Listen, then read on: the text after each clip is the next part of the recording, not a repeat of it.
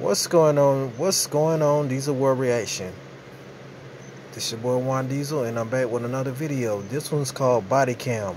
Footage shows Cincinnati officer used racial slur while on duty. Let's get started.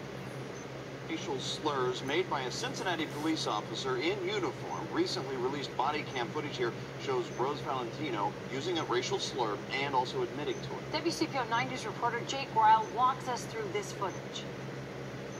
The city manager in a statement said that the body camera footage is disturbing. Officer Rose Valentino called it an isolated incident, her using a racial slur while on duty.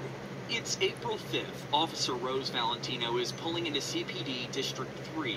Several cars are parked to pick up students at Western Hills University High School. Officer Valentino activated her lights and siren to get the drivers to move. You gotta move.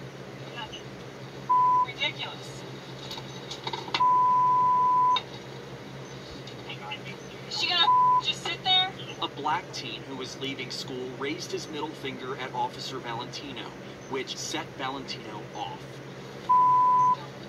Oh, I hate him so much.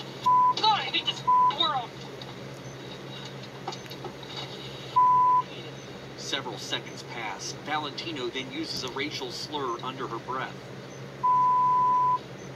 Hate him. We dug into Officer Valentino's personnel file. She look She's racist. a 14-year veteran with CPD.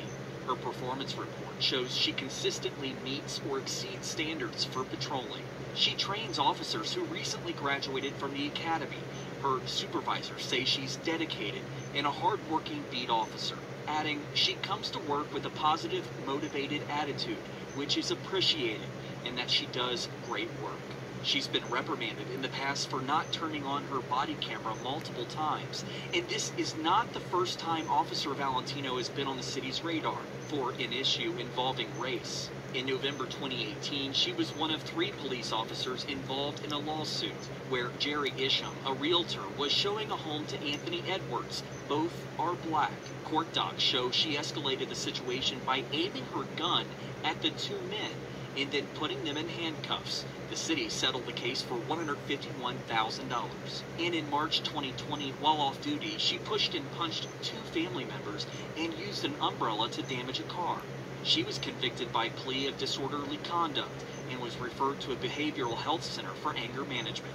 Fast forward to the April 5th incident. According to the internal report, Officer Valentino acknowledged her statements weren't appropriate and that she was surprised the racial slur came out and that it didn't represent who she was as She an wasn't officer or how surprised she as shit. about African Americans. She just claimed couldn't believe she got caught. Desensitized to racially offensive language by music and hearing people talk on the street.